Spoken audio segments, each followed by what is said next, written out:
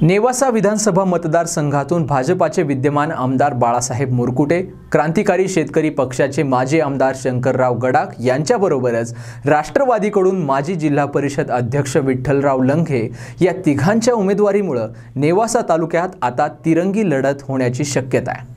नेवासा विधानसभा मतदारसंघामध्ये विद्यमान भाजपाचे आमदार बाळासाहेब मुरकुटे क्रांतिकारी शेतकरी पक्षाचे माजी आमदार शंकरराव गडाख यांच्याबरोबरच राष्ट्रवादीकडून माजी जिल्हा परिषद अध्यक्ष विठ्ठलराव लंखे हेही रिंगणात उतरणार असल्याचं विश्वसनीय वृत्त आहे. त्यामुळं नेवाशात यंदा तिरंगी लढत पाहायला मिळण्याची शक्यता आहे. गडाख यांनी नुकताच कार्यकर्त्यांचा मेळावा घेऊन शक्तीप्रदर्शन करत आपल्या पक्षाकडून उमेदवारी करण्याचं जाहीर केलं.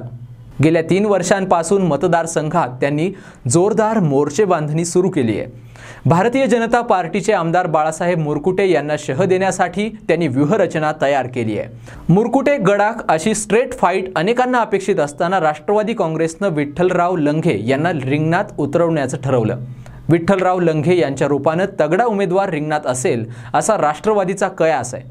तसं झालं तर मुरकुटे गडाख आणि लंघे अशी तिरंगी लढत होऊ शकते.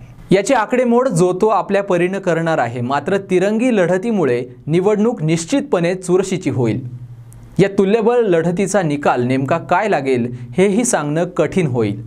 चार तारखेला अर्ज भरल्यानंतर कोण कोण रिंगणात असेल हे समजू शकेल. Bureau report Ahmednagar live twenty four Ahmednagar.